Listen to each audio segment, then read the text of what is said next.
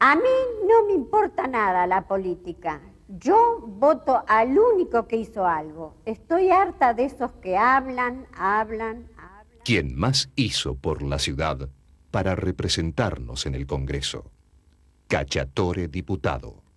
Un voto a favor de la gente.